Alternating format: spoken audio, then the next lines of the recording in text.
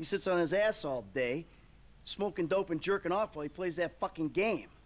If that's our standard for goodness, the end of the road.